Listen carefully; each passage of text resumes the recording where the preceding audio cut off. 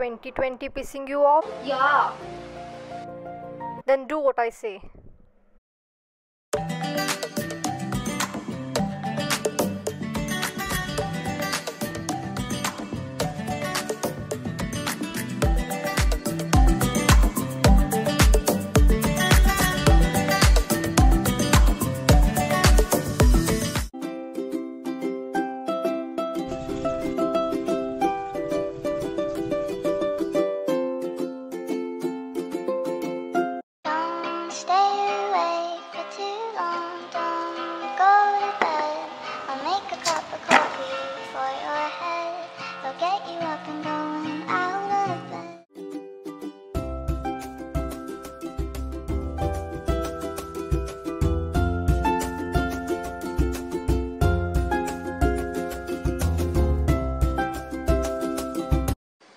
Don't forget to name them.